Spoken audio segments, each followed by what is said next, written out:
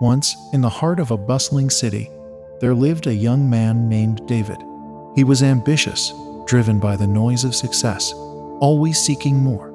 Yet deep down, a void gnawed at his soul, leaving him restless and discontent.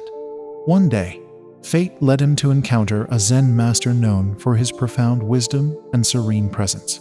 Intrigued, David approached the master, seeking answers to the turmoil within. The master welcomed him with a gentle smile and said, In the stillness of silence, one finds the answers they seek. Confused yet intrigued, David embarked on a journey with the Zen master, eager to unravel the mysteries of life. Along the way, they encountered various challenges, each offering a lesson in the power of silence. As they walked through the noisy streets, the master remained unperturbed, his tranquil demeanor unaffected by the chaos around them. David, on the other hand, found himself struggling to find peace amidst the cacophony. Why do you remain so calm amidst the chaos? David asked, bewildered by the master's composure. The master replied, In the silence within, external chaos loses its power to disturb. With each passing day, David learned to embrace moments of silence, finding solace in the stillness of his own being. Yet, the journey was far from easy, as he encountered obstacles that tested his resolve. In one instance, they came across a raging river blocking their path. Panic seized David as he frantically searched for a way to cross.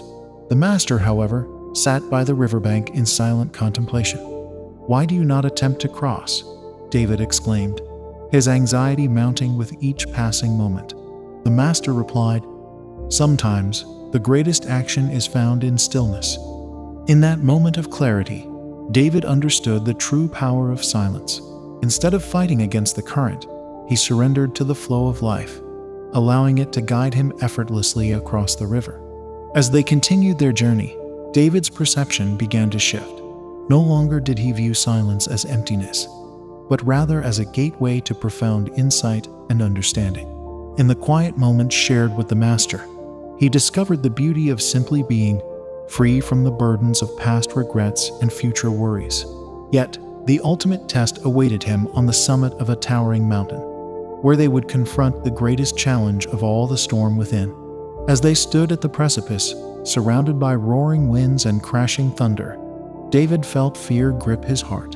In that moment of uncertainty, he turned to the Master for guidance.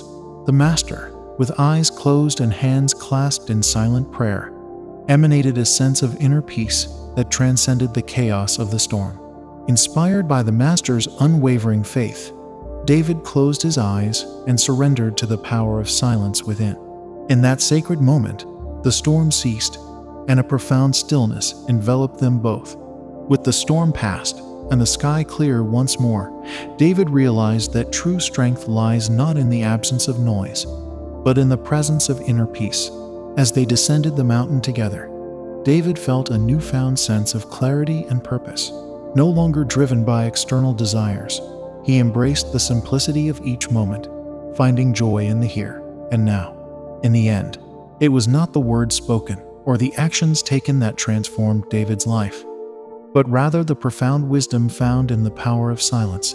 And so, as the young man and the Zen master parted ways, their hearts filled with gratitude for the journey they had shared. They understood that the true essence of life lies in the stillness of the soul. This is God of Motive. Thanks for watching and stay focused.